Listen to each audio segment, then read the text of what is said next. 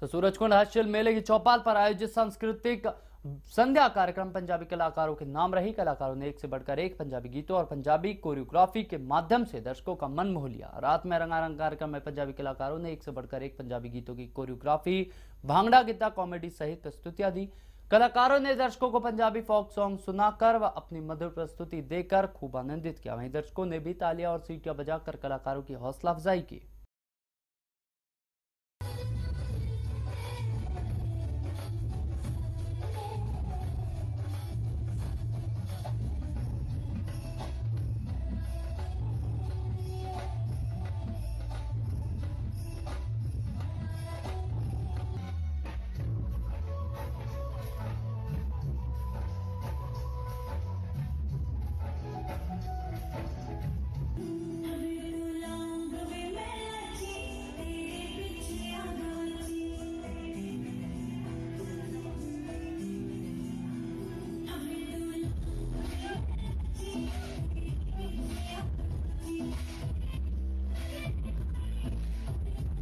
Thank you.